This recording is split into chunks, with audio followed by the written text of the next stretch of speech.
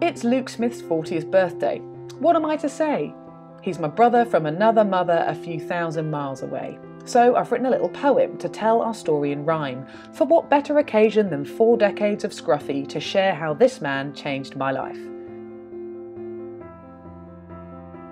I met Luke when I was a fresher in the ancient city of York. He was a fresh faced church leader, my face gap year rounded like pork. I came wearing denim dungarees with overconfidence for days. I exhibited the exhaustion of poor social boundaries, but he still met me with grace. He introduced me to a mentor who happened to be his wife. Hannah and I became best friends in three weeks, then our friendship was family for life. During uni, Luke became my champion, daring me to try new things in faith. It was Luke who got me leading Alpha for all of my student mates. It was Luke who gave me the microphone to try my first ever preach. It was Luke who suggested my calling to students might go beyond university. It was Luke who gave me a book on prayer and taught us to pray through the night. It was Luke who wondered if I would work for Fusion, and it was Luke who got it right. In friendship, in church, in life, and in work, we've been through highs and lows together. I will never forget the day that you called me to tell me that you had cancer. It was a privilege to pray for your healing as you lay in a hospital bed.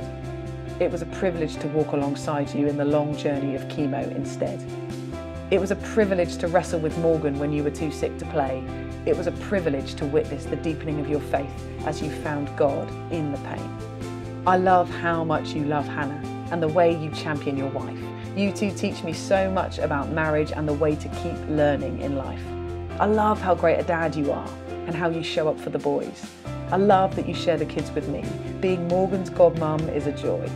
I love how much you're built for adventure and how you prioritise having fun. You remind us all to be less serious, like a true Enneagram 7. Now, obviously, I'm singing your praises. It's your birthday, your party, your bash. But it's also worth stating, so your ego stops inflating, that you're also a bit of a pain in the I've countless times been farted at because you think it's funny. I've countless times been shown pictures of poo. Again, you think it's funny. I've countless times been reduced to giggles when it's the silent bit in church. And I've countless times been subjected to your performance of very impressive burps. Truth be told, my scruffy friend, you are a gift and a joke. You're a prophetic jester, a true god wrestler, an all round phenomenal bloke. Nine years in the same city, two more years just up the road, and now across oceans, we're still in the mission of helping students find hope and home. Thank you for being my big brother, my teammate, and my friend. Happiest of birthdays to you, Luke Smith. May your life be God's glory. Amen.